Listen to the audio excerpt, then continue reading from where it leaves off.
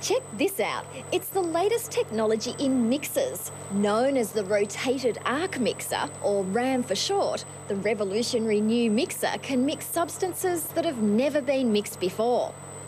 CSIRO scientists Dr. Murray Rudman and Dr. Guy Metcalfe invented the new super duper mixer.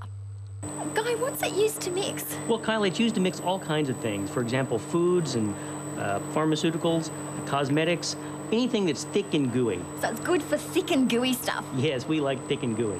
And why did you decide to invent a new mixing machine? Well, Kylie, thick and gooey things often give mixing problems. They, they tend to clog up, uh, particularly industrial mixers for these continuous type industrial mixers. They clog, they don't do a good a job, or they take too much energy to do the job properly. And this one overcomes those problems. This one overcomes all those problems. The key to the RAM's success are the forces that produce what's called chaotic mixing. So how does it work? Well, Kylie, what we have is there's a cylinder inside here, and that's stationary, and we've got holes in it. And then this cylinder on the outside rotates around. Now, it's a bit hard to see what's going on inside, so we made up this cardboard model to sort of illustrate it. And so here's the inner cylinder, and these are the holes that we've cut in it all around. Here's the outer cylinder that's rotating around. And what happens is every time we're at this hole, the, the fluid is spun around. And the orientation of the fluid spinning is like this. And then a little while later, we move down to this hole, and the orientation changes. So it spins in a different orientation. As we get further down, it spins in a different orientation. And just as the fluid moves down through this tube, the orientation of the spinning changes over and over and over again, and that's what brings on the chaotic motion in the fluid.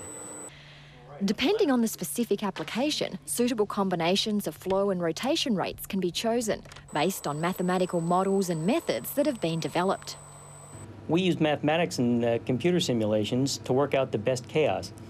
Uh, here's an example of a simulation. We've got the uh, RAM mixer in, in the computer, then we have the red and the green particles we send down, and then we measure the mixing, how well the mixing is. Then we change the geometry around a little bit, and we measure the mixing again.